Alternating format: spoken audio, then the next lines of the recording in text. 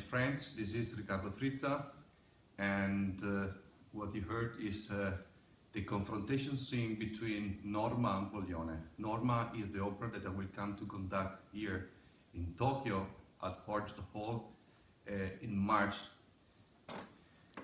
Norma is uh, one of the most famous bel canto opera and it's been written by Vincenzo Bellini. It's not just famous because Callas sang it, but also because it's one of the most most important opera of the Italian repertoire. It's the, the pure romanticism of the Italian style.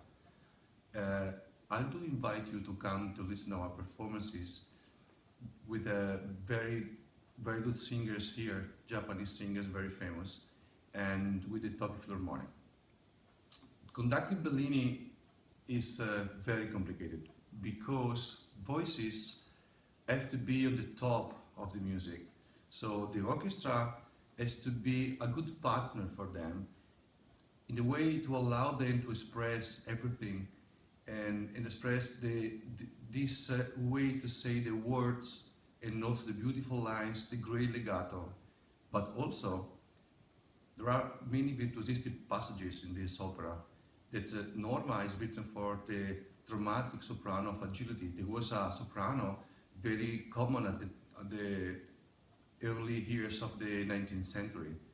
A soprano that developed also uh, in the first early operas, uh, like Lucrezia Contarini of Due Foscari, or also Abigail in Nabucco. So it's this kind of soprano that during the years is going to develop into something more important. But everything is starting from this kind of repertoire, the real Italian bel canto. I came in Japan first time in Tokyo was the year 2000 with Carlo Bergonzi. Was his last concert here in Japan, great Italian tenor. And after that, I came here many times. And every time I worked with the Tokyo Philharmonic Orchestra. This orchestra is a great partner for doing music, also Italian music. And a great relation with them. I just did Traviata last year in, uh, in a New National Theatre and it was great, very successful and I have a very good relation with them. We understand each other very easily, so I'm very happy they come to play this Norma for Japanese audience at the Orchard Hall. So I invite you all to come to listen these two concerts, uh, the 17th and the 18th of March 2018 at the Orchard Hall to listen Norma.